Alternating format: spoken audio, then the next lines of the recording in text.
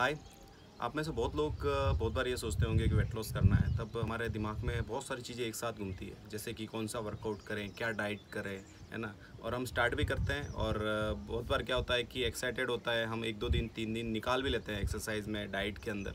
और वापस, क्या होता है, हम गिव अप कर देते हैं। तो आज आपके साथ एक अच्छी सी टिप शेयर करना चाहता हूँ। वेट लॉस जो आप करना चाहते हैं तो आपको क्या करना है और वो भी ईजी वे पे तो सबसे पहले आपको सबसे पहले क्या चीज़ ध्यान रखनी है? कि आप छो, सबसे छोटा स्टेप लें है ना? वेट लॉस के अंदर कोई भी बड़ा स्टेप लेने की ज़रूरत नहीं है। आपको क्या करना है? एक छोटा स्टेप लेना है और उसको बहुत समय तक करना है। तो आपको स्टार्टिंग में क्या करना चाहिए? तो सबसे पहला कि आपको अपनी वॉकिंग पे काम करना चाहिए। क्या करना है आपको? जल्दी से सुबह सुबह उठना है और वॉकिंग स्टार्ट करना है।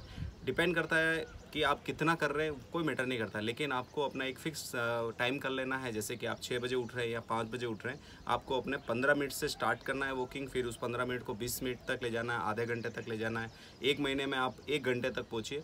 और आप देखना, एक महीना जैसे ही होगा आपके और आपके शरीर में कुछ ना कुछ पॉजिटिविटी आएगी ना? आपको कुछ ना कुछ रिज़ल्ट एक महसूस होने लगा रिज़ल्ट आएगा नहीं, लेकिन महसूस होना लगेगा। और उससे आप एक इंस्पिरेशन लेंगे आगे की डाइट और उसके लिए।